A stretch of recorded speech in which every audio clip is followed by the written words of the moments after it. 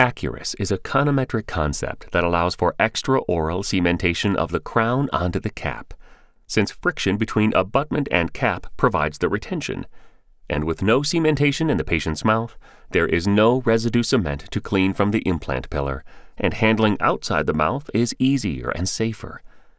The friction retention also means that there are no screw holes, because there's no need to screw the crown on the abutment.